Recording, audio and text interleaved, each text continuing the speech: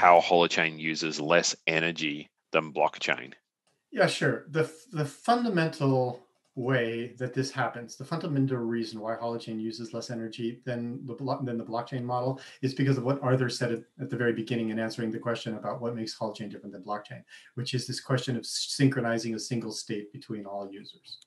That is the energy intensive thing.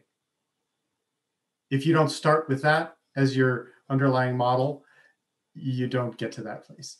Now you can write a deeply energy intensive Holochain app if you want to. Like you literally could write a blockchain simulating app that does proof of work, and people have talked about doing that just to show how show that. But that's kind of a backward step, um, and and it's it's that fundamental thing because we're not sharing and synchronizing state between all users.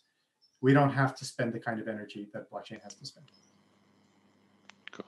Yeah, I, I'm I'm looking forward to the day when the questions along these lines also talk about the holochain energy use versus like current centralized cloud energy use and how that environment works as well and and benefits between those environments because I think that's a that's a really that's that's a very important point and distinction that we certainly made in the green paper and have made a lot along the way is we're not we're not optimizing orientating ourselves to prove that we're better than blockchain. We're out to provide a viable alternative to the centralized computing environment you know for certain types of apps.